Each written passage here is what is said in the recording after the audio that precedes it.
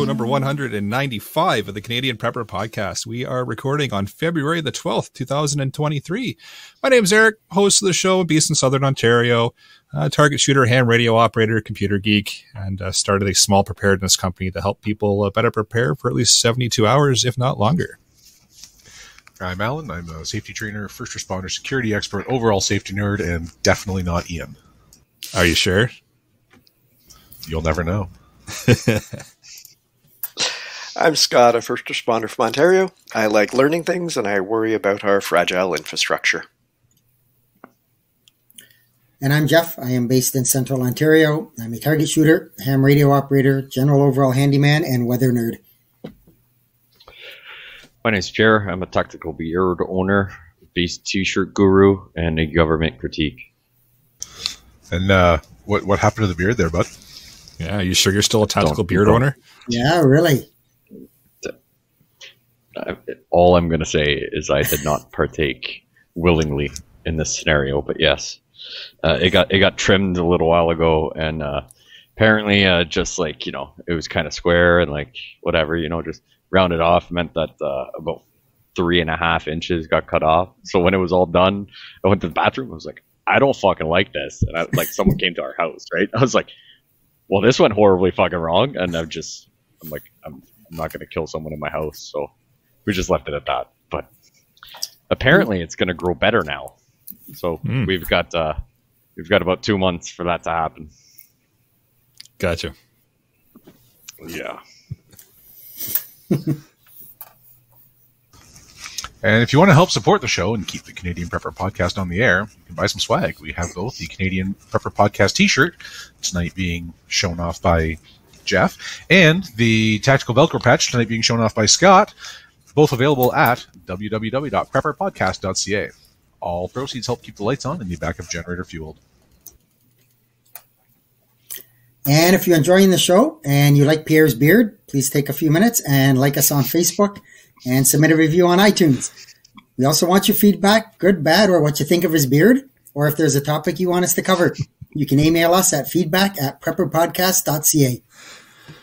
All right, we've got some transmittable content for you in this episode. We're going to start off with some recent news articles. I will update you on our personal preps, and then we're going to get into the main topic. We're talking about uh, NVIS and nerding out on ham radio tonight. So let's move into the news. I had a bunch of ideas of things we could talk about, but then everybody else already put them in. So something, something UFOs, Russia, China, Ukraine, we're all doomed. Yeah, the uh, the news has kind of been completely bombarded by the whole UFO thing going on. Uh, we did solve that earlier today in our little uh, prepper podcast uh, chat group. we have found out that it was actually Scott who was, um, you know, testing out some of his most recent um, uh, plans and such, and um, for his I said I'm gasifiers. sorry. You know, the hydrogen And- mix was just a little rich in the gasifier, that's all. Yeah, when the gasifier decided to take off, it turned into a UFO that was then shot down by NATO. Scott, Scott, by the way, has just changed his last name to Hindenburg. These things happen. Yeah.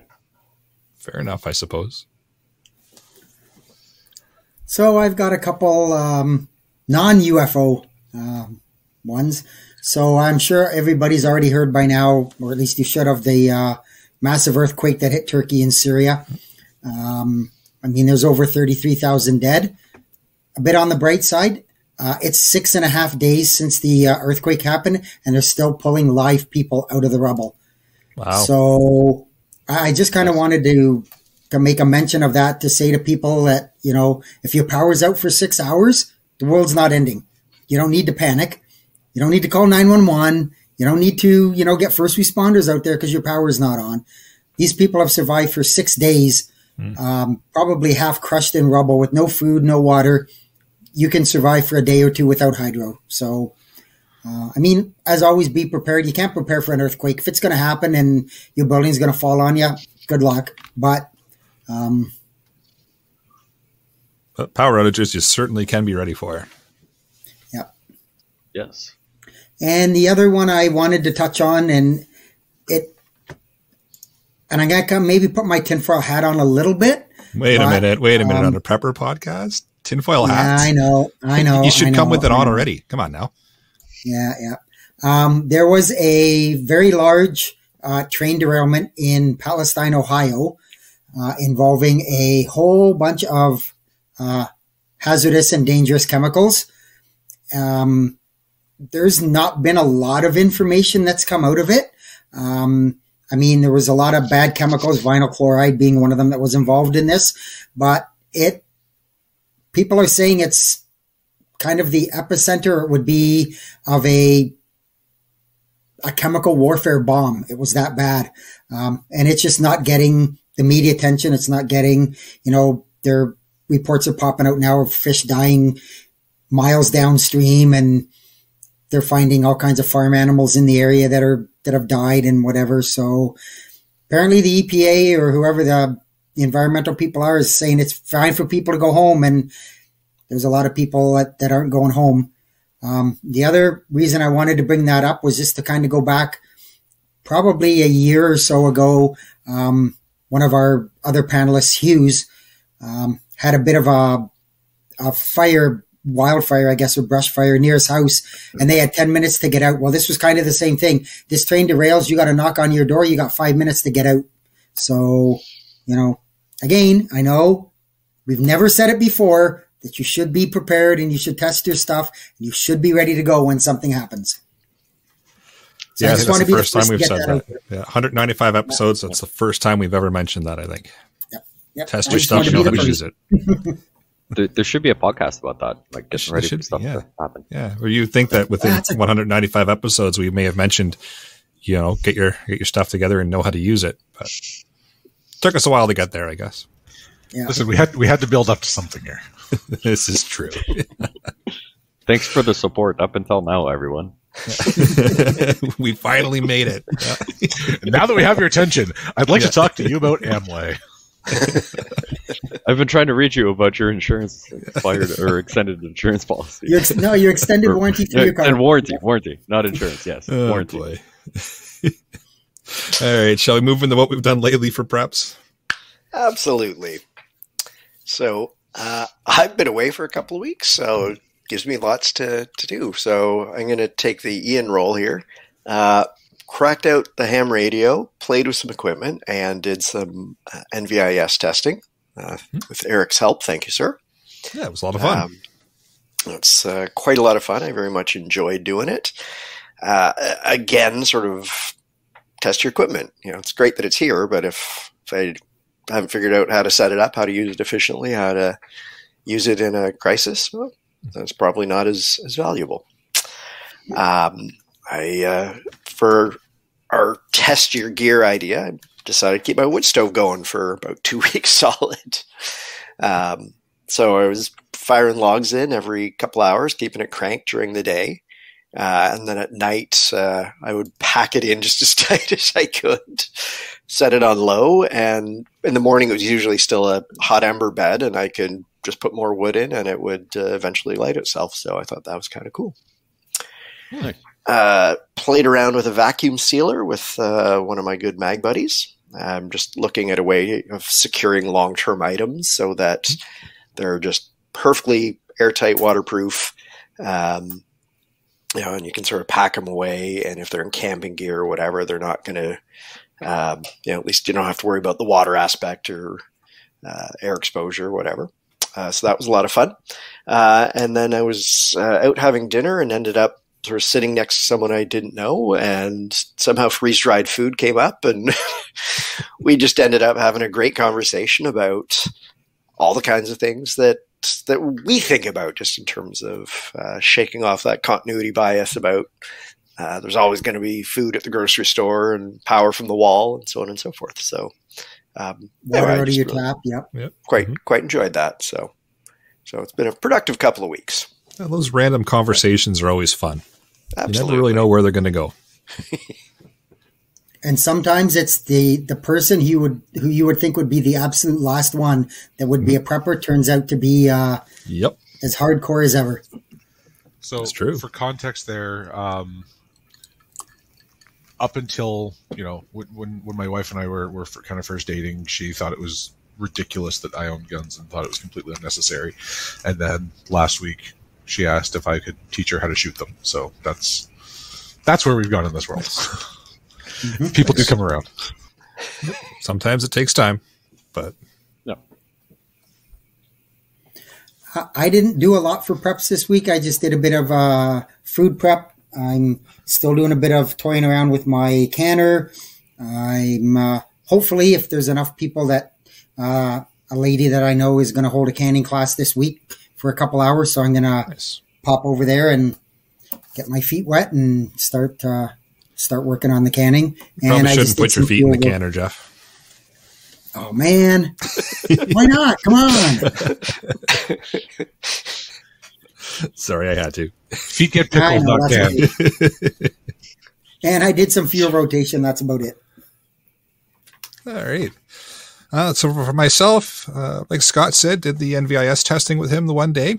Uh, it was fun to get kind of things set up. We were always trying to see if we could make contact on the radio between uh, our two locations. So that was uh, was a fun little test to to get sorted out. And then uh, on February the fifth, the the London Ham Radio Club was actually sponsoring an NVIS test.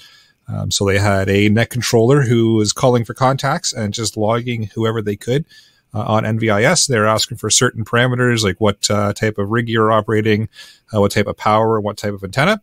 Uh, and then, of course, call sign uh, just for requirements of identification. And um, yeah, we'll get into a little bit more on that a little bit further into the episode here. But uh, that was a lot of fun to, to test out and play around with. Um, like Jeff, I've been a little lax. Um, I'm kind of up to my eyeballs in school, work, um, training, all kinds of great things.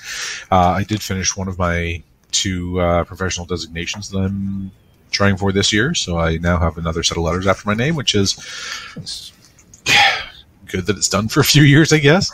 um, other than that, it's uh, it's been not a lot. I did do some fuel rotation mostly because I forgot to go to the gas station.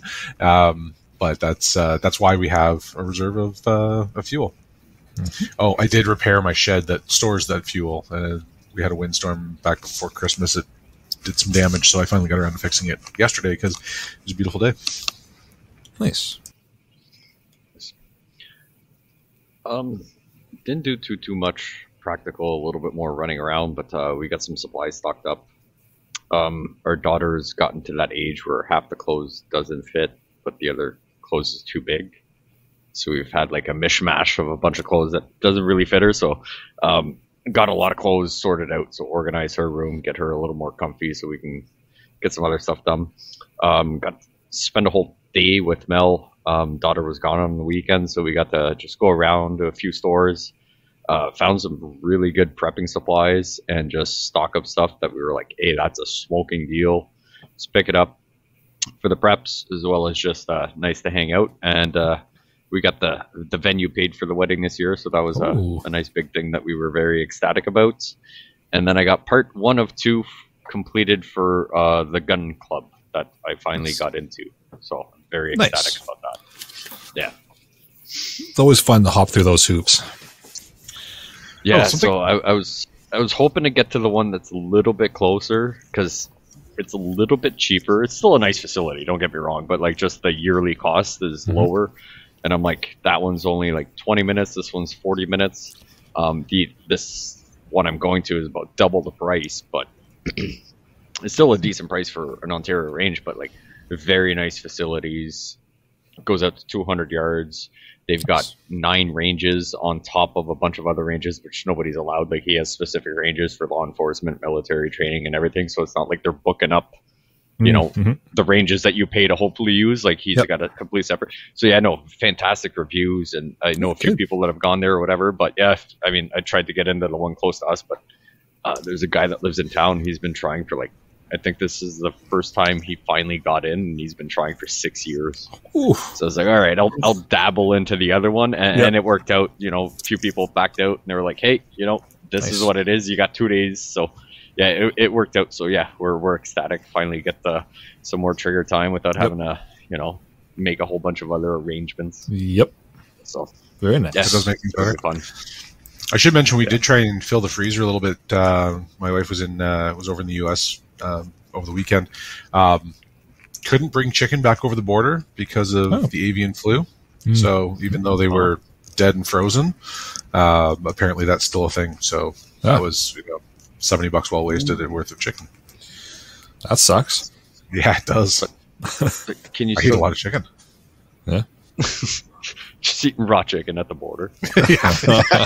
this is not going away. So I'll deal with the two days. Of There's got to be a barbecue somewhere. Well, there was in the back of my truck. She just Oh. not in the. Uh, um, she she was she was out with she was over there with her dad, but, and uh, yeah, didn't have it. Which is weird because he's the one that usually has like the Weber grill strapped to the back of his like 1993 tracker, but. uh, not th- not this time apparently. So yeah, that was uh, I found that I found that out the hard way today. Um, the uh, the government the government does not want us bringing uh, chicken across the border. So if if the chicken had it and it's been processed and frozen, like does it still have it after the unthaw process? Don't ask questions. that what it is? Pierre. You have been told. you have just- been told, sir. I'm just, just No, no, trying to no, no, critique but it- a little it- bit here. Chicken, garbage can. No. Yep. Stop. No, no. It doesn't even go in the garbage can. It goes in a freezer. Which is what else makes you think it's absolute, Okay. absolutely ridiculous? So I guess the unthaw part kind of makes sense from that. yeah, but I'm gonna no, thaw never it and cook it. Like Yeah, but Uh, I, what I if- still don't understand how a respiratory virus can be transmitted through muscle through like through muscle tissue. Um, but I'm no epidemiologist, so who knows? hmm hmm You can probably I might- I might one need to- I might nowadays, need to depending make on a- the I might need narrative you want to follow. tomorrow. might need to visit tomorrow. Well, you know, I, and I, and I'm not saying it's nothing new, but I mean, and I, I can remember years ago we I went with my parents. We took a trailer and went to Florida, and Mom bought a bunch of oranges from Florida, and it said right on it like imported from Florida or product of Florida, whatever. Put it in the trailer. We got to the border. They seized it. They're like, nope, you cannot bring that across the border. We're like, it came from Florida to Canada. We're just taking it back. And they're like, nope, can't have it. They took it, threw it in the garbage. We were not and then you went to the grocery store and picked Bought up the same oranges. oranges Yep. imported from from Florida. Yep. Yep. I'm seeing a trend here. hmm Mhm. Prepping for a barbecue at the border. and screwdrivers. Yep. So we got a, a comment in the live chat here from Brittany, just uh, talking about another balloon or whatever shot down near Tobermory today. Uh, makes me think about Bruce Power and uh, how close. So uh, I figure we'll talk about the whole balloon thing for a second here, get everybody's kind of thought on it before we move into NVIS, because I know everybody probably wants to chat about that because that's kind of a thing right now. my my first question is how many times does this happen and it doesn't get reported? Yes. That, that's my that's my first question. Because is this just a slow news cycle and this is totally normal? Yeah. Could be. Or what are they trying to divert us from? Uh, The Epstein list? I don't know. Uh, could be, yeah. That, that was my first thought. Dun dun dun. Yeah. I mean, correct me if I'm wrong. They launch high altitude weather balloons all the time. All the damn time. So you know there are probably going to be any given day dozens, if not hundreds, of balloons float around. That's how they measure what's going on with the jet stream, that kind of thing. Um, I don't know if the one supposed spy balloon has kind of you know made all the other balloons in trouble, and we're just shooting down weather balloons now. Um, I think it'll be interesting. point. Well, uh, you know, if we're just getting a little uh, trigger happy at any balloon and we're shooting Yeah. down things that have Little- always been there and aren't a problem and aren't spy balloons. Balloon lives matter, guys. Let's be real. this is gonna it's gonna come Care- full circle. Here we go. Careful going to Yeah. a kid's birthday party if you're getting trigger happy around balloons. hmm So it's just that the Wasn't this, Helium uh, cartel is in on it. That's all. Wasn't this wasn't this the plot of what was the Clint Eastwood movie, Clear and Present Danger? No, In the Line of Fire, when he was the Secret Service agent and there was the plot to assassinate the president, and they just kept popping balloons instead of and, and making it sound like gunshots. Yeah, I think that's I think, it. Yeah. I think that was the movie. I think that was In the Line of Fire. I, Yeah. As soon as I saw that, like, Yeah. oh, we're popping, we're balloons are dangerous now. I, I, that's what I thought of. Yeah, no, I think it's definitely something to kind of keep your uh, keep your eye on and, and pay attention to. But um, I don't know if it's really worth freaking out about right now. Like a lot of people are kind of going one way or the other. I mean, And and Uh, obviously, I mean, you- listening to the mainstream media isn't going to help you at all because Mhm. I mean, our our Canadian, I don't even know Anita, and, and I can't remember what her position is, but she came out the first one that got shot down and kind of described it. Said, "Oh, it was cylinder shaped. It was this. It was that. Whatever." Next time she came out, we just got rid of it. I think she got told, "You don't, you don't, Yeah, you don't talk about- no, no you don't say anything about what it is." yeah, just that it was shot down. Yeah, and I mean, a- and I can understand. And now, that, the now their new word of- is the one today that uh, Brittany mentioned over Tobermory. They said it was quote decommissioned. That was their that was the government's official quote. We decommissioned it. Decommissioned it. Hmm. Uh, That's I'm friendly. I'm gonna use that next covered. time I get asked what what happened to the uh, to the pizza. I decommissioned it. Decommissioned the pizza. oh, jeez.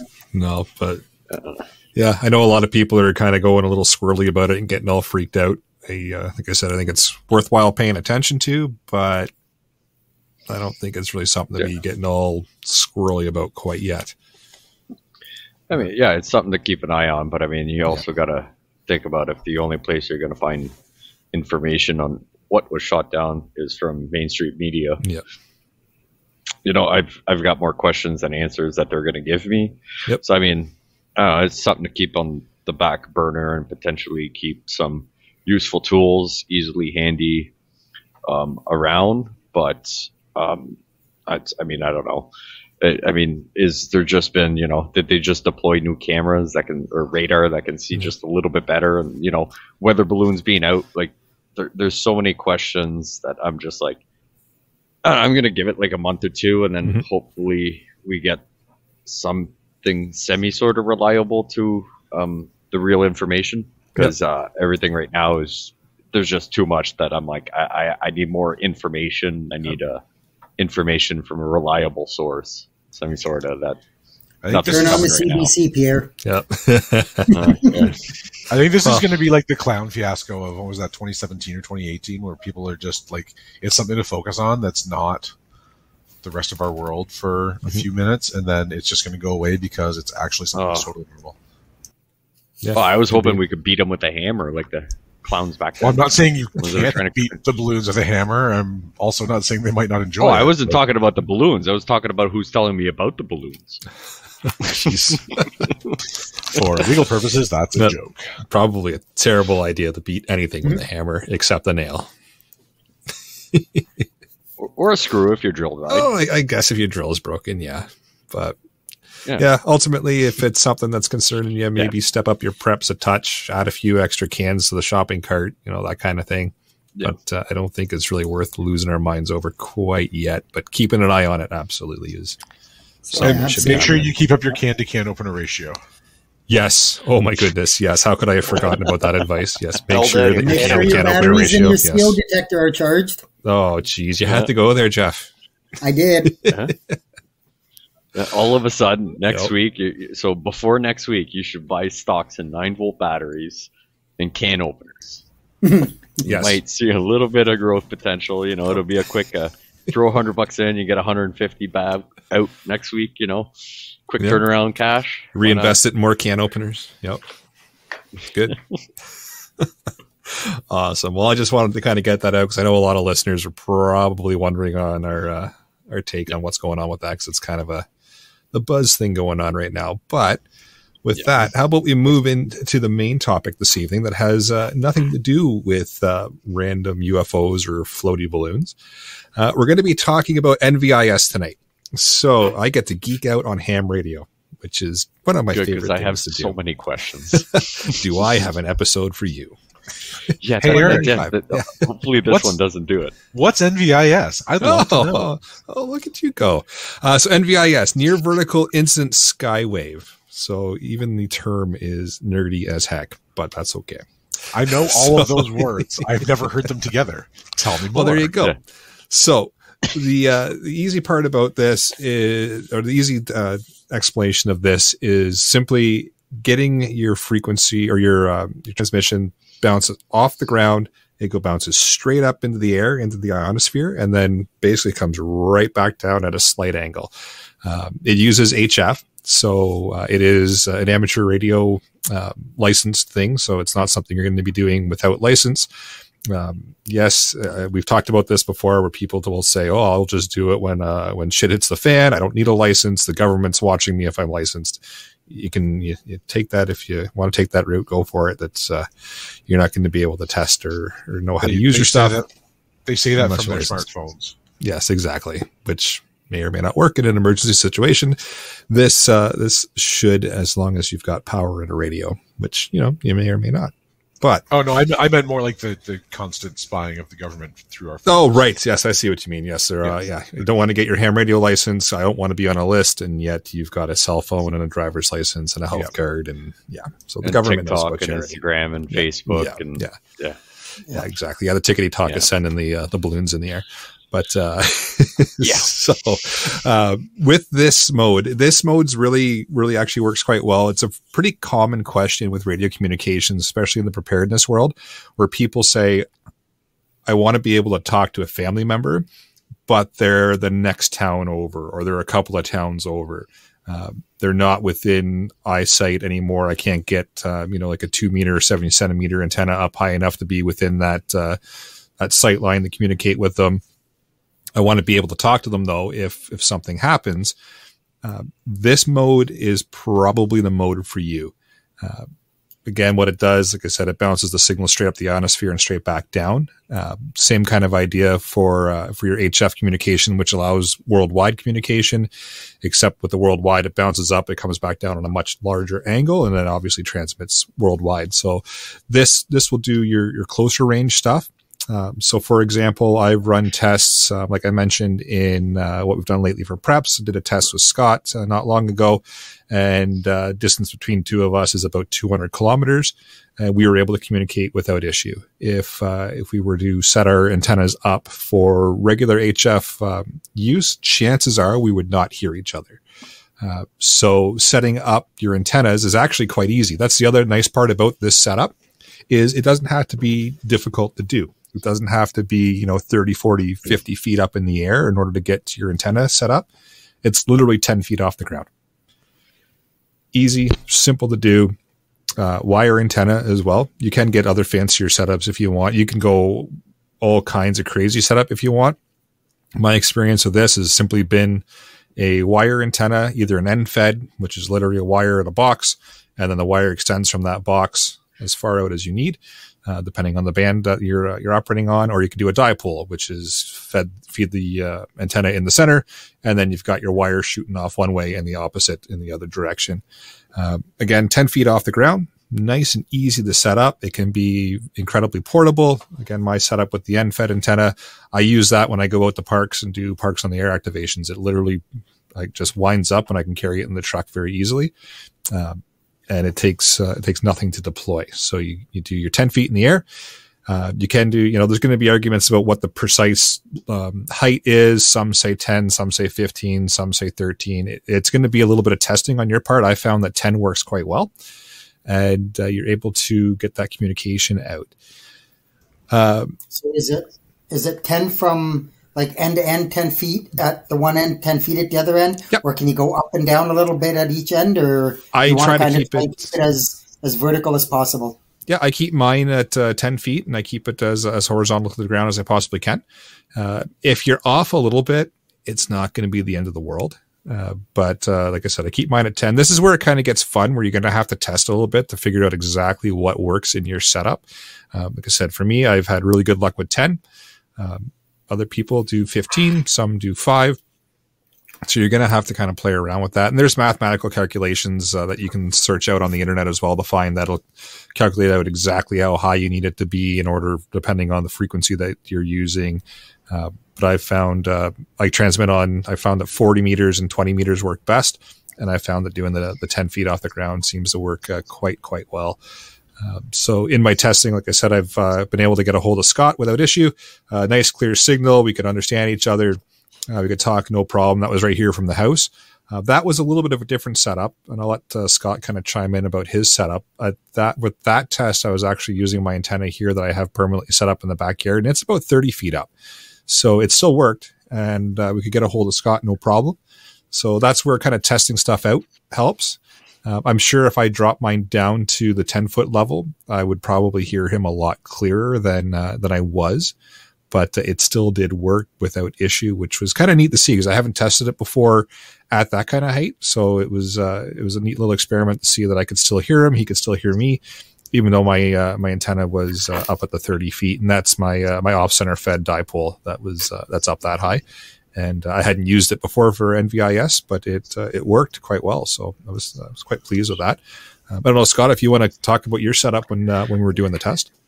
So uh, I'm just going to dial it back and compare NV- NVIS to a normal setup. Mm-hmm. So that normal setup, it's going out at more of an angle. Yep. You picture the cartoon with a little radio tower and the radio waves bouncing around the globe, and you sort of get that M shape you're drawing, and you end up with sort of this this dead zone semi close to you where you broadcast out, it bounces off the ionosphere and comes down a thousand kilometers away. So if you're in that 200 to 800 kilometer range, you're not hearing it because all the radio waves are above you there. Um, so by changing the way the antenna is set up so that it's more of that vertical, instead of sort of being a long M wave going up and down, it's sort of a much tighter, like it looks like it's a higher frequency just because the angle's tighter. So all of a sudden you're able to hear things a whole lot closer to you. Um, and it's, I mean, this is the exact reason I got into ham radio as a, a prepper is the ability to talk one town over or sort of for things I need. It's, it's great if I can hear Australia and pick up the BBC uh, shortwave broadcasts. But if there's something I'm interested in, it's because you know, practically I need to talk to Eric because I know he has some supplies that, or advice or whatever. Um, That's if Jeff hasn't stolen them yet. that is true, but at least then I'll know Eric had it and now it's at Jeff's house. This is true. Um, so what I had set up was a very long end fed antenna. It's about 120 feet. I've got sort of lots of yard. Uh, my height was very precisely set at about whatever the tree limb that I threw a rope over and hung it from.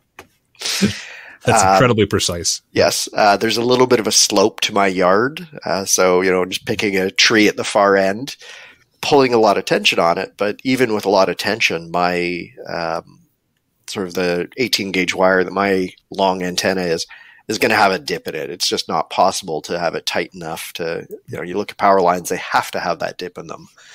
Um, and I didn't have any problems. Um, when we start talking about the London test, um, I stayed on the air listening to that for uh, you know probably a good hour before the band started fading, and it was just wonderful listening to people checking in from all different locations uh, around Ontario, a couple from the states, um, but just sort of fascinating being able to hear um, hear these. So, you know, like there's someone in, uh, you know, in the town where my folks are. I'm like, oh, perfect. That's good to know. Yep. Um, so looking at it very much from that uh, ARES amateur radio emergency service yep. perspective, you know, this is a communication system that we can set up and use effectively that's independent of most other infrastructure, right? Sort of, I if you, especially if you have a little portable setup, you know, Eric's Pelican box going to the park, um, you know, that's all you need at each end to talk, which is the exact kind of technology that I love. So I think it's this is such a perfect uh, prepper application of this technology. And even to mention that, I uh, I didn't get into really the the requirements equipment wise um, that you need to do this, and, and like you said, Scott, it's fairly basic. You need a radio that's capable of transmitting on HF frequency. You need some sort of power source for that radio.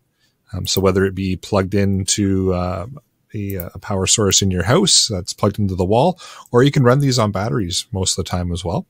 Uh, obviously, a microphone to uh, the talk on, and an antenna, and then some coax to connect the radio to the antenna. So it uh, it can be as fancy and as intricate as you want, or as mobile and com- compact as you want. It's uh, it's really nice that way. And like I said, it's as simple as just throwing the uh, wire ten feet in the air. Uh, you also made a good point there, Scott, about trying to get the wire as tight as you could to keep it straight that's not a big deal with uh, with doing the the dipole uh, or end fed antennas. There can be a sag to it. It's not going to cause any huge huge problems.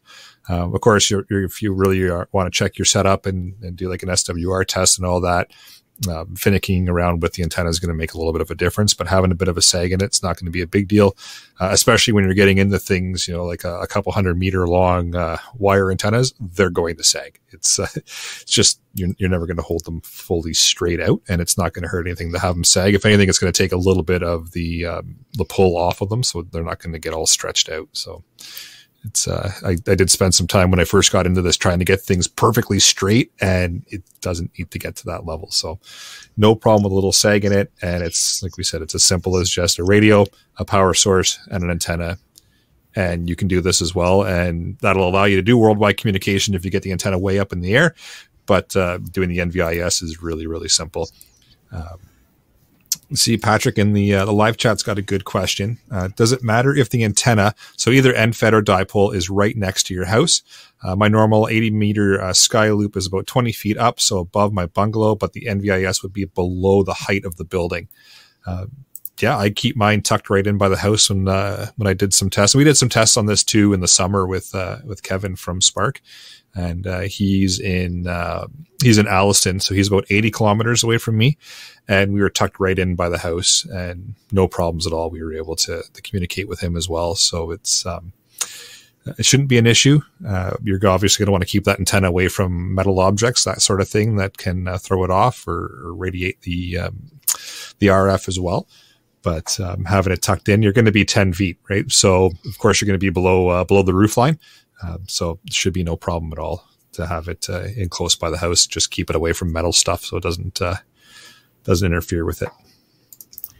Any possibility of doing this in a mobile setup? Oh, absolutely. That, yeah, yeah, yeah. I don't see so, why not. So would yeah. I need to like pull over and stop my car and then transmit, or would it just? So that's the fun part. You would be exempt under the Highway Traffic Act in Ontario as a ham radio operator to operate your radio while you are operating your vehicle. Um, would I suggest doing that? No, because you're going to be paying a heck of a lot more attention to your radio than you are to what's going on on the road. No, uh, I, I, meant in terms of I meant but, in terms of tra- like actual transmission yep. legalities aside. Yep. Um, Just had would, to get that still, disclaimer in there. yeah, but uh, yeah, I don't see why you wouldn't be able to. A lot of the time when I go and do parks on the air, we're in the truck if it's uh, adverse weather and still transmitting. Um, as far as antennas go, I haven't tested it with uh, any kind of a like a permanent installed like vertical antenna in uh, in a vehicle. I've only ever done it with wire antennas, so I'll take my end fed and stick it in the snowbank in the wintertime uh, or just in the ground if uh, if there's no snow and ice. So I don't know about uh, about vertical antennas, like permanent installs on vehicles. If you're going to go HF that way, uh, you certainly can do it. Uh, you, like you can install an HF radio in a vehicle. It's low at that point, so I don't see why it wouldn't work. Uh, but you're not going to be installing a big wire antenna in a vehicle, so don't. Uh, that one, I'm not quite sure. We, you know what? We're going to have to test that. I was just about to say, I was like that. Tune in next week yeah. for those weeks. Now I have an excuse to go got, buy another antenna. I've got a like I've got my my TYT in my truck that I got from Rapid Survival, and yep. um, it so that should be able, does, it, should, it can transmit on the on the HF bands, right? Uh, no, that does two meter and seventy centimeter. It doesn't do HF. Oh, okay. Yeah, do so you're so. not uh, you're not doing HF on that, unfortunately.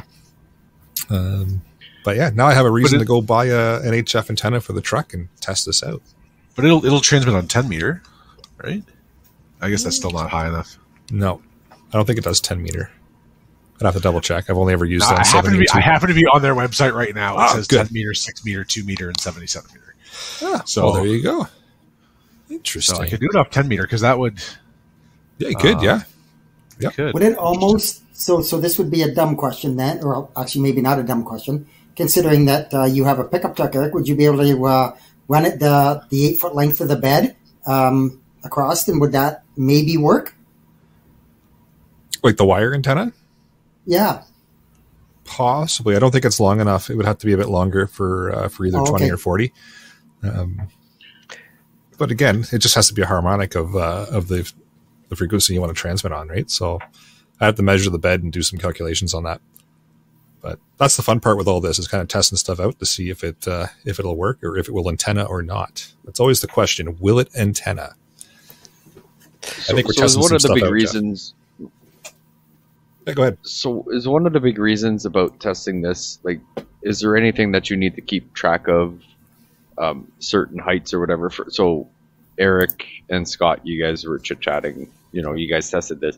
Like is there anything that you need to keep um, consistent to keep that good communication? Like let's say Eric puts his antenna you know two feet higher you know does it go outside of that? Like is that why you guys are testing or just to make sure that it works? Like is there you know like specific things that you guys are testing? Because it's like if you put your antenna too high too low you know because you're bouncing it back at an angle right? Would that angle go surpass that area that you're trying to reach? Is, is that a big reason for testing?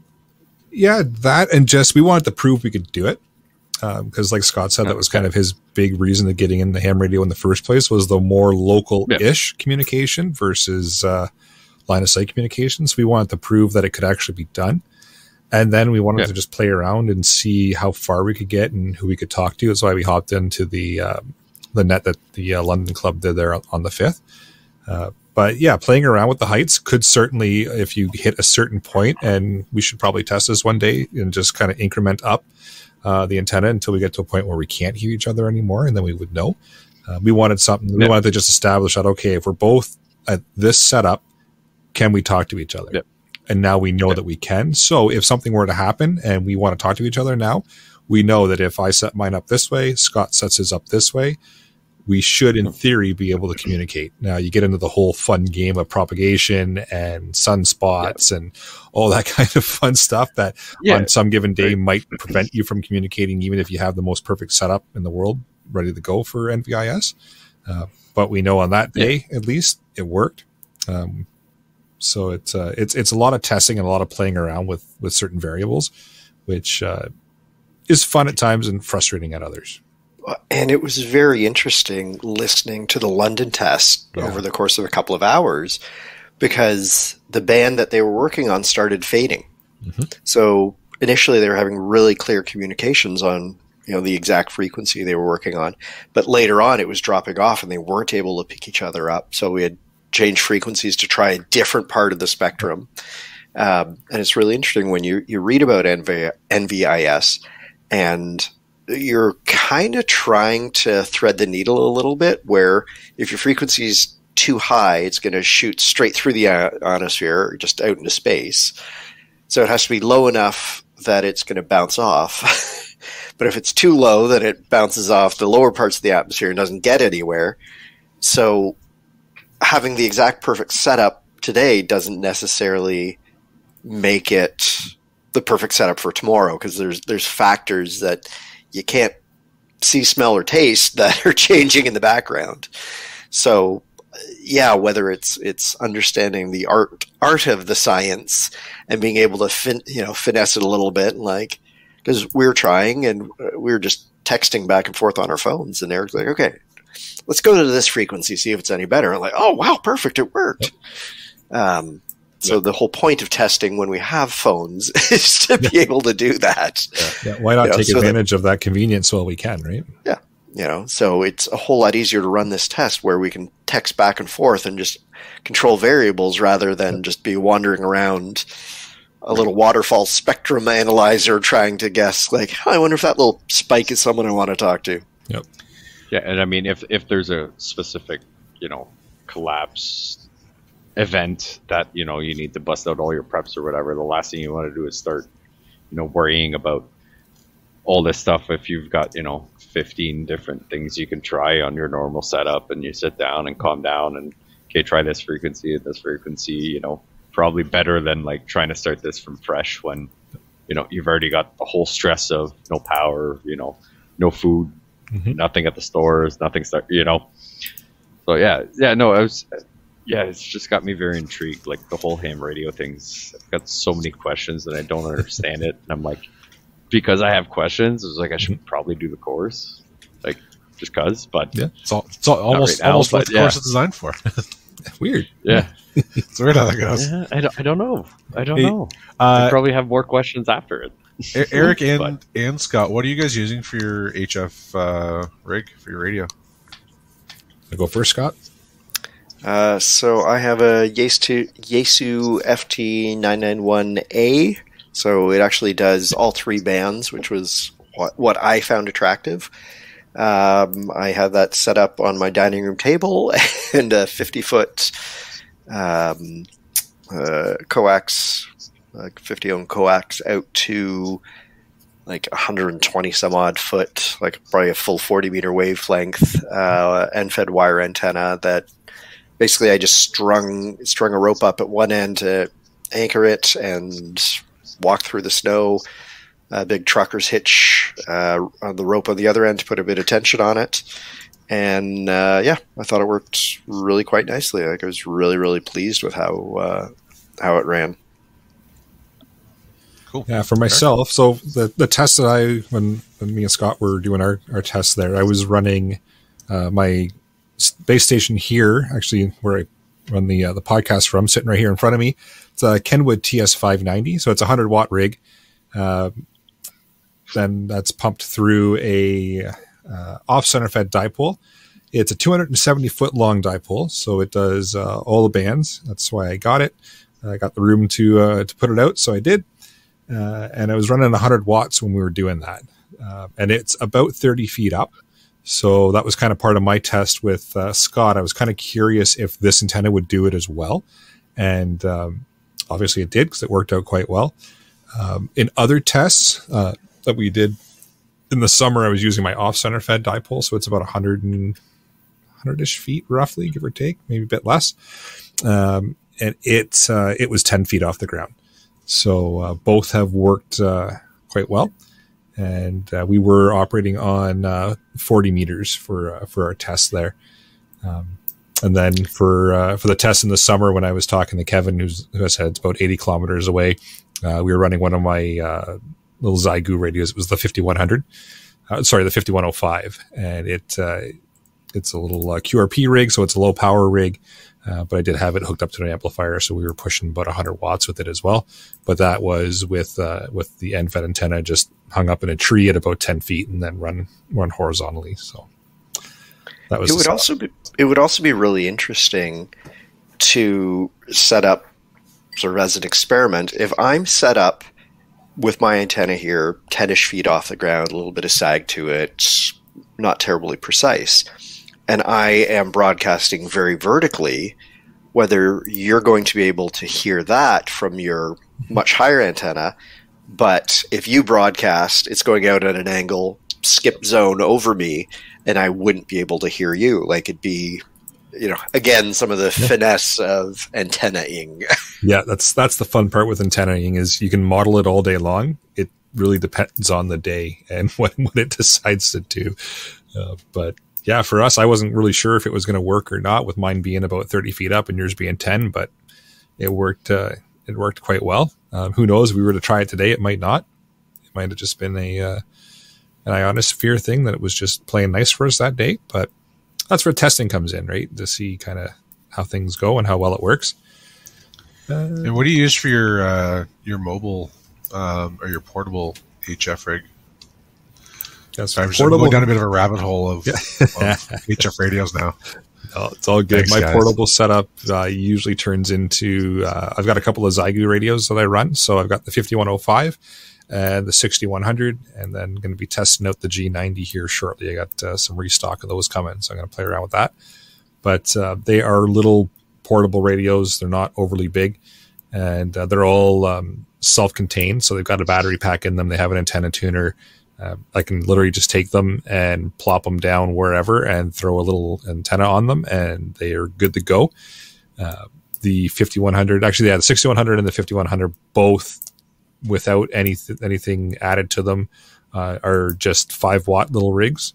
Uh, surprisingly, five watts will do a lot for you. So uh, everybody kind of thinks, oh, five watts, you won't get anything. I have made some pretty decent contacts out of just five watts. Uh, the 6100, you can add a little battery, uh, external battery to it. It'll jump up to 10. And then the G90 on battery starts at 20 watts, and that's where it hangs out. Um, so they're uh, they're nice little rigs. And I like them. They're they're portable and, and easy to kind of get around. So that's my uh, my setup for portable. And then I use the end fed antenna just because I've got it set up for portable. I've got it set on a spike, and it's literally just take an arborist bag, throw it over a tree limb, pull the rope over the tree limb with the other end of the antenna, and you're on the air within a couple of minutes. So it's uh, it's a nice little setup. Uh, we've got cool. a question in the live chat here from Patrick in regards to a normal dipole's directional front and back. Uh, with a dipole set up at 10 feet in an NVIS setup, does it remain directional or mostly just straight up? So my understanding is at that point, when you're at the 10 feet, it's straight up. It literally tries to bounce the signal right off the ground and right straight up. You're of course going to get some that still goes off on the direction. You're never going to stop that. Uh, but the idea is to bounce it right off the ground and then just bounce it right back down on that tight um, uh, pattern, like Scott was talking about earlier, to get the uh, the signal closer into people and, and avoid that skip zone. Um, let's see. And then uh, Rio, we've got another question. Does bending the antenna affect it? I was thinking possibly installing a ladder rack on my truck and outlining it with an end fed antenna.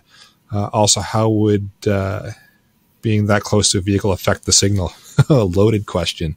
So, does it antenna? does it antenna? Uh, my answer to that right off the hop is try it, see what happens. There are so many different things that can affect your antenna on uh, on a vehicle. Uh, first off, using the uh, ladder rack, if it's if that's going to be metal, you're going to have a heck of a time with that antenna. Uh, you just turn the ladder rack into an antenna. Yeah, you just turn yourself into, effort. Yeah, yeah. So it's that's going to be tricky. Um, running uh, mag mount antennas on my truck for uh, for HF operations when I'm at the parks yeah, sometimes it works, sometimes it doesn't play nicely. You get into bonding and grounding and all those fun things that hams like to fight about uh, when you when you start talking about doing antennas on vehicles. So, um, my best answer to you, Rio, is is try it. You're going to find out if your vehicle antennas or just your antenna antennas or everything antennas, and you're going to know real quick if uh, if your truck antennas or your vehicle antennas because all kinds of other things will also be going click and clack and turning on and off and you don't expect them to. So, uh, yeah, try it and see what happens. Can't hurt. I'd be curious to know if you do try it too, what happens with it and if it does work out for you. But that's uh, that's half the fun with this is kind of testing things out to see what they do and what they don't do, and if it maybe it does do what you want or not. What advice do you have for people, Eric, in terms of you you want to test your setup? and it's going to be a whole lot easier to do when other hams are on the air. So, in terms yep. of looking at local ham clubs, looking at uh, national events, certain days of the week when more people are out doing parks on the air, that sort of thing. What what advice do you have for people? Because it's great that you have this setup, but you can't really test yeah. your sort of bent truck antenna if other people aren't on the air to, to answer back. Great question. So you can just start yelling into the ether and hope that somebody comes back to you. They may or may not. You never know. Uh, nothing more more frustrating than sitting for an hour in front of a radio calling CQ, which is you know I want to talk to somebody, and hearing nothing because now you start asking yourself, is anybody hearing me? my radio working right? Am I actually putting a signal out? Did I set things up properly? Uh, we're actually talking, uh, myself and Kevin from uh, local prepper group here are looking at setting up a uh, an HF net where we set a certain date and time for people and say, okay, at this date and time, we're going to be on the following frequency. Let's try to uh, to make contact. And we want to kind of start it out with a local thing, so NVIS, and then if uh, if that takes off, we might spread it out a little bit differently and do like an NVIS one and do a, a more more distance one, but uh, we're looking at doing NVIS. So if this is something that interests you and you want to test it out uh, before we get that off the ground, uh, by all means, shoot me a message on the Discord, flip me an email. I know Scott would probably be willing to hop into. Uh, let us know. We'll just set up for you one day and we'll make it happen. Because there's uh, no better way to test than knowing that somebody else is going to be on the other end. because it's uh, like I said, it's it's pretty frustrating just yelling into the ether, hoping that somebody's going to come back to you. But don't be afraid to ask, and we'll, like I said, we'll find a day. We'll we'll all set up. I'll find whoever I can to to help test out, and we'll just uh, we'll dial it in and we'll figure it out. Because well, we've got wonderful things like the internet and cell phones and easy ways to communicate with each other. We may as well take advantage of it because if it's not working, it's a quick text message or phone call to say, "Hey, try this. Hey, try that." and then try it again on the rig yeah. and see what happens. Yeah, and I mean, uh, at the same time, right? You're gonna want to test that. Yep. I mean, going back to all those times where people were online compared to if those don't coincide with your schedule, yep. trying to make that happen to see if it works, and then you know when a scenario happens where everybody is depending on the system, everybody is going to be sitting by their ham radio. Yep in comparison to you know at work you work nights compared to other people or just you know yep. whatever those scenarios are where you know people may not be actually on but doing that is uh yeah i mean but when that time comes you just yep. know everybody's going to have that turned on somewhere and be listening oh, yeah. and you know so yeah Yep. And Darius has a good point in the live chat as well. Uh, Radio Amateurs of Canada has a Discord channel as well. Uh, so you can post in there. People will certainly jump on. Um, Ham Radio Crash Course also has a, a, pretty active, actually very active Discord channel. Um, and there's people on there 24 7 that are willing to, to jump in and help you out as well. Uh, we're hoping to get Josh back on the show here to nerd out about ham radio as well. And uh, in the future here, we're looking at doing a, a series on communications. So uh, don't be afraid to hop into those various uh, areas as well. And just ask for help. Uh, no no harm in saying, "Hey, I'm trying to figure this out. I want to learn how to do it." And like I said, the the panelists here are willing to, to help people out as well. More than happy to set up one day and and do a test with you and see if you can hear us. Because why not try to sort it out while times are good?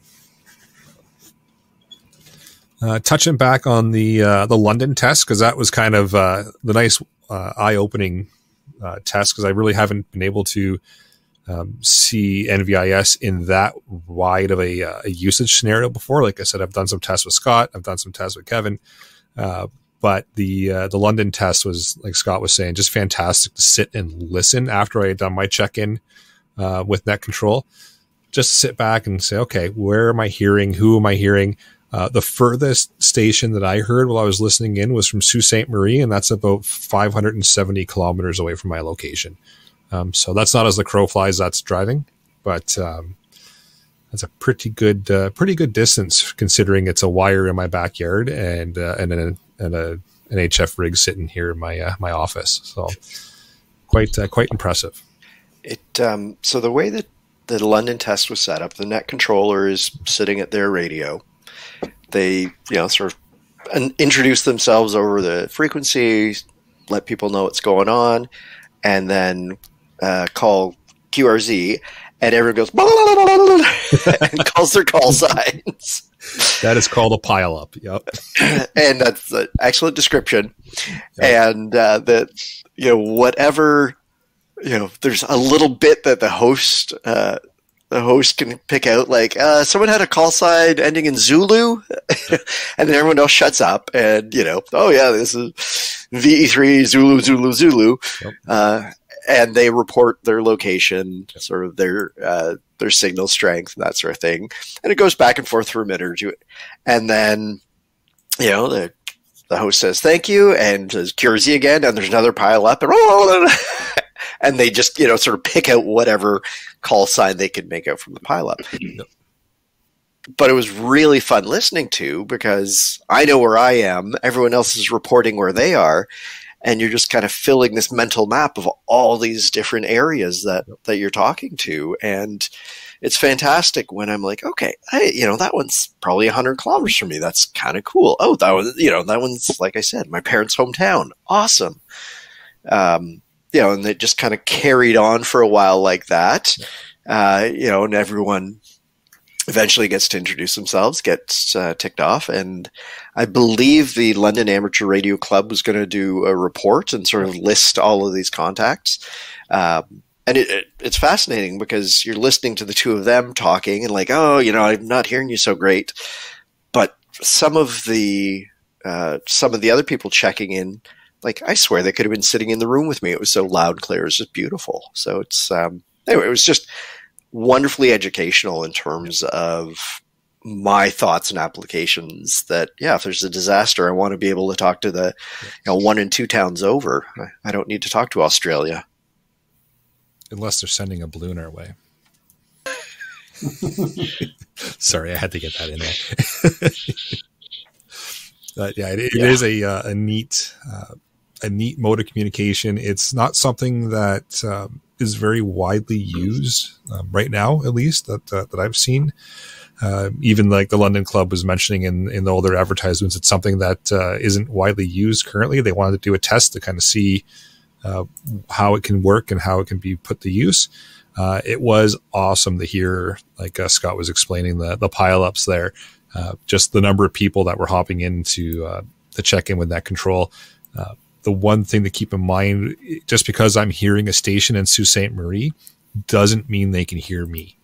So that would be kind of part of our test that we're trying to uh, to figure out with doing a, a little uh, prepper net is we would be able to check in with that Sault Ste. Marie station, say, okay, you can hear me.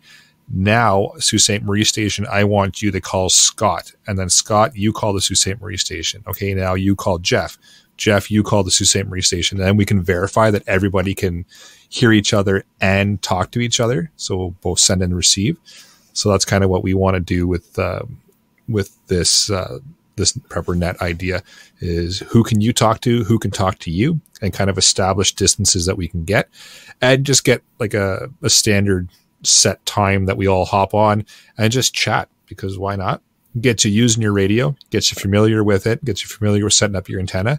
If something doesn't work right that day, we can work all together and try to get it fixed for you. So get you some troubleshooting experience as well and it just gets us all talking because uh, right now we're just some talking heads and you know on a podcast or on youtube that you're listening to so if we can kind of chat uh, on the radio back and forth and kind of help each other get the, their comms up and going uh, i think it's a great idea and it'll be a lot of fun too And I guess if you can't get to the specific town you're talking about, but you can piggyback Yep. to someone and then they can reach that town, right? Relay you can use a mi- um, yeah, use a relay, use a middle person to get all the info. It'd Yep. be nice to know before. yeah it'd be Everything. really Yeah, good to know yeah and then we can Yeah. set up communication uh, standards too right like on this day we're going to be using and actually london amateur club did this as well where they said okay here's our primary frequency our secondary and then our third frequency so if you don't hear us on the first go to the second you don't hear us on the second go to the third and it actually worked out well because the first there was a I think there was some kind of contest or contact that was going on there. The second, same thing, it was already being used. We ended up actually using the third frequency at first, um, just because the bands are busy. So it's kind of nice to have that kind of plan in in, uh, in setup as well, so we know that uh, if I don't hear you on one, I'll go to two. I don't hear you on two, I'll go to three. Um, if you want to see a good setup as well for doing communications on radio, uh, Tech Prepper on YouTube, fantastic setup. He does a lot of uh, ham radio operations out in the field, and he has a whole comms uh, system set up where they will transmit for X amount of time on one frequency, then they'll drop down uh, X number of kilohertz. They'll transmit there for a certain amount of time, then they'll go down again. And he tries to make contact with a, a certain station. Uh, he calls it no random contact series. It's uh, it's a good series to kind of keep an eye on and watch as well because he'll uh, Nice. he's got a whole comm plan set up and it's uh, kind of good to have in the back of your mind or even deploy yourself if you're going to do this uh, for an emergency situation. So it's um, it's neat to see. Uh, any other NVIS questions, comments, or anything like that, panelists or uh, live viewers? I just find it kind of useless. I mean, we all have cell phones. I don't see why you want to do that. Cool. Thanks for coming out, Pierre. It's been fun knowing you. uh, no, no, but I mean, you know, it, it's kind of cool. Like if uh, I mean, you know, Scott had mentioned that this was a big thing for him. So like, if he's testing it out and realizing he can't get to, you know, set set of friends, family, whatever in town, but he can communicate with someone that can relay the info. You know, most people that probably do the ham thing are mostly all preppers, but just being like, hey, write this frequency down. You know, this worked for us. Um, let's say a scenario happens. You know, we'll do check-ins at you know, nine o'clock in the morning and three o'clock in the afternoon. Yep. And then you know, if that person is due to, you know, just it, it's it, it, it is pretty cool. It is uh, it is on my to do list in the last little bit, and like the more you guys are talking about it, I'm like, man, I kind of got to do this, but I'm like, I got to do it. But there's just so much. It's- yeah, yeah. No, so it, it is. It is cool. It, it's kind of cool to hear how all this works without actually getting into the course. Yep. So Great question from Patrick in regards to does time of the day or band make a big difference? Yes, yes, and yes. uh, so when we were doing our test back in the summer, Jeff was here and we were trying to make contact with uh, Kevin in Alliston. Uh, there was one day it wasn't happening. We could hear stations in the US, we could hear stations all over the place. We were not hearing Kevin at all. He was not hearing us. It just wasn't going to happen. Uh, at least the beer was cold. That was good. uh, a couple days later, we tried it. Boom, crystal clear. We could hear him, no issue at all. Uh, turns out there was a bit of a solar storm the first day we were trying, and it was just killing our killing our transmission. He just he wasn't hearing us. Uh, I tried to check in with some other stations as well. We just weren't going anywhere. It so yeah, weather for sure. Time of day also will uh, will affect you. Uh, like 20 meters at night, you're just not gonna. It's not gonna happen. You're gonna want to do 40 meters at that point. 40 meters throughout the day and night, most likely you're going to be all right. You might want to try 20 meters during the day. You'll probably have a little bit better success that way. Uh, but yeah, absolutely. Time of day, band make a huge difference. And that's kind of part of your testing uh, too, to kind of get a feel for what's going to work well for you at certain times of the day. Uh, it's uh, that's the joy of HF. You're you're kind of at the mercy of Mother Nature and uh, and the sun. So sometimes they like you, sometimes they hate you. It's um, it just it all depends on how your uh, your RF, um, it's your radio frequency. When I say RF, uh, how it goes and how it bounces off the ionosphere. So it's um, that's another thing to keep in mind too. In, a, in an emergency situation, you might have to try for a day or two if uh, if Mother Nature and the sun's just not playing nice for you. That's where your plan gets into place, right? So I'm going to be on this frequency for X amount of time, then this one, then this one, then I'm going to stop for a half hour, an hour, then I'm going to do this, this, and this. Having that in, in place and having people you're trying to talk to know that that's what you're going to do kind of increases your chance of making that contact. But don't get frustrated if it doesn't happen the first time around. Chances are it won't. Uh, we just we really lucked out, uh, myself and Scott, with it working pretty much right off the hop. Uh, but I have had it where it's failed and we haven't been able to make contact for for an entire day, and we had to try again. I um, I mean, going back to your point, Pierre, earlier, years ago, I'd bought just a a used sat phone uh, at auction, sort of looking at getting into comms, and it's just not a practical solution. I mean, it's sort of dependent on so many other things and you know subscriptions and and whatnot. So this is just such a nice, ideal, you know. I need my gear here. Eric needs his gear there. We need a little bit of luck, but you know we're not dependent on Yep. something, you know, some equipment outside of our control, other than the ionosphere. Yep. Yeah.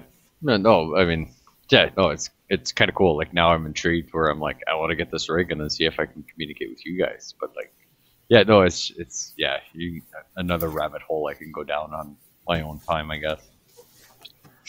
Uh, so, uh, Melissa in the uh, live chat there's got a good question as well. Is there anything you can buy to help you break through that bad weather? A really good cell Amplifiers. phone. a cell phone, yeah. Uh, TikTok. Yeah. Uh, TikTok, yeah. yeah. Yeah, there you go. Uh, weather balloons. No, um, Yeah, no, no, yeah.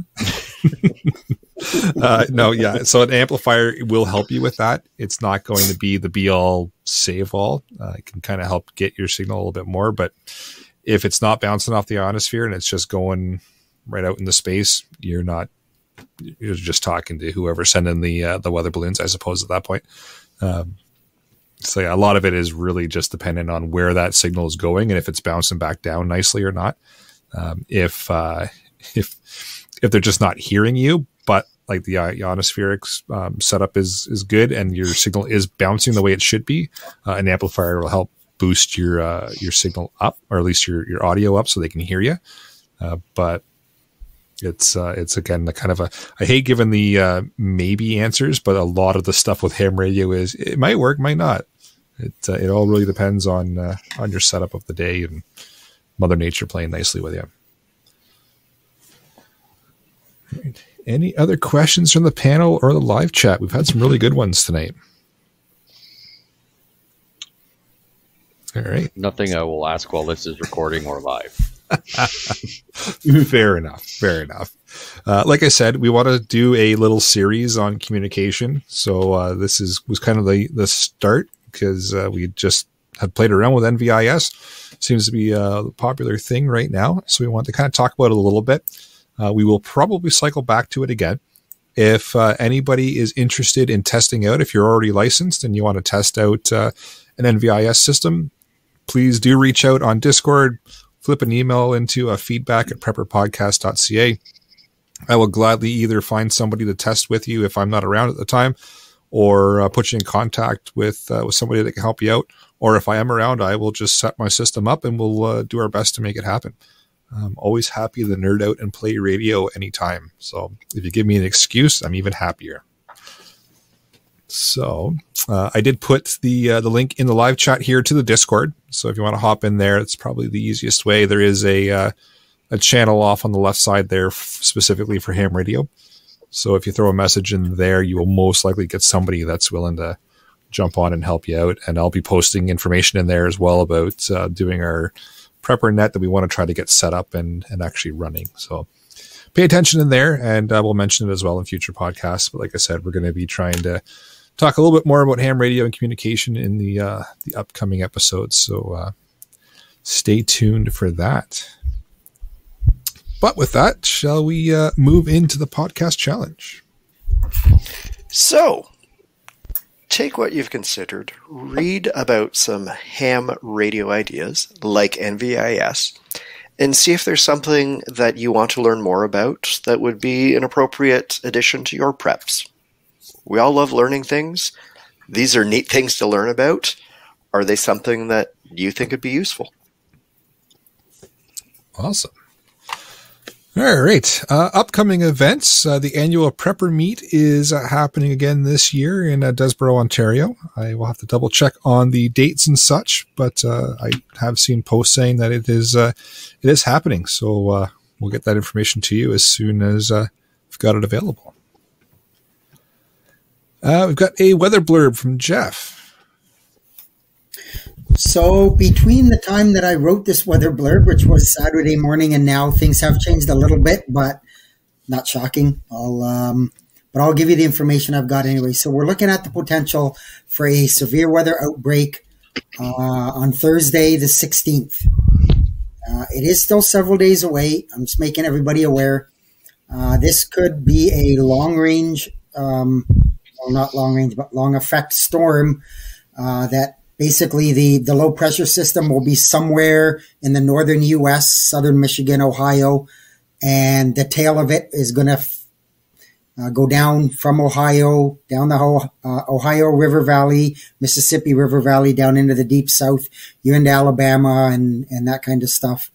Um, I'll keep an eye on it. I'll uh, do the updates on the Discord. There is a section there for general weather. I usually uh, keep things up there as soon as the forecast becomes a bit more clearer. Um, things aren't looking quite as bad now as they were then, but there's still the potential for for that to change. We're we're four days away, so um, you know, considering that uh, Southern Ontario is expecting double digit temperatures Wednesday, Thursday. Remember, we're in the middle of February and we're talking uh, 12, 13, 14 degree temperatures in Southern Ontario. So uh, high dew points. So all of the ingredients are there for some sort of a severe weather system to form. So just keep that in mind if you're uh, anywhere in that area, and um, we'll go from there. Again, like I said, I'll I'll post uh, updates on uh, the Discord when I've got when I can tie it down a little bit uh, more firm. All right. Uh, for the uh, annual preppers meet, just uh, double checked. So the official dates are July the 6th to the 9th. And again, that's at Desboro, Ontario. So once, uh, once they end up uh, with uh, making tickets available and such, we will let everybody know. All right, we got a deal of the week. So around the world, there's approximately 900 weather balloons launched twice a day buy in bulk, you can get a great deal on used weather balloons right now. oh boy. Terrible advice, but funny too. All or right, you, got- yourself some rope so you can set up your NVIS antenna. you know what? Do both. Just go all go. go all out. You know, attach your NVIS antenna to your weather balloon. See how high you can go and still make contact. Perfect. I was I was actually just thinking about that. Like, if I had like a small helium tank and a big heavy balloon, could I string my antenna up literally anywhere and just get on the air? I guess your uh yeah, your only limit there is the length of your coax. Yeah, Yep. Be a lot of loss if you're going up 30, 40 feet or 30, 40,000 feet. but hey, I say test Maybe it. you can communicate with the pilot Yeah. at that point. Maybe. For- it's a- just long enough to say stop, don't shoot. Yes, we come in peace. Yeah. okay, we got some shout outs, I see. Uh, I want to shout out you, Eric. Thank you for helping me tune in my NVIS setup. Uh, it's incredibly cool. I think it's such a such a great thing, and I very much appreciate the help. Yeah, no problem. I want to shout out my mag buddy who was helping me with vacuum sealer, and uh, sort of some of the new friends that I made this week. So I think it's been a great week for shout outs. Nice. Awesome. Well, with uh, email and iTunes reviews, it was uh, beyond getting a couple of spam uh, emails about us having voicemail and such, which is not a thing. You got to get a little bit sharper with the emails if you're going to trick us into clicking links. Uh, nothing. I listen. So- I listened to the. I listened to the episode. Yes, that's right. I know better. Do you know who you're emailing? Come on. we need to get a little bit better than that one. Uh, with that, I'll bring episode number 195 of the Canadian Prepper podcast to an end. You can find the podcast on iTunes, Podbean, Spotify, of course, your favorite podcast app. Uh, please help us out, submit a review. It does help other people find us. And we do record these shows live on Facebook and YouTube. Uh, go back a few episodes, you can hear me live uh, express my displeasure with how we uh, how we do record. Uh, if you want an early peek at the show, please subscribe to the YouTube channel, Canadian Prepper Podcast. Click the notifications tab; it gives you an alert when we're going live. Um, Uh, you can contact me at Alan, that's with one L, at prepperpodcast.ca. Please don't send me any voicemails; I will not open it. I'm just impressed that StreamYard specifically made a change because of your rage quit. I am an influencer. It's fantastic. they now locally record things and then stream it afterwards.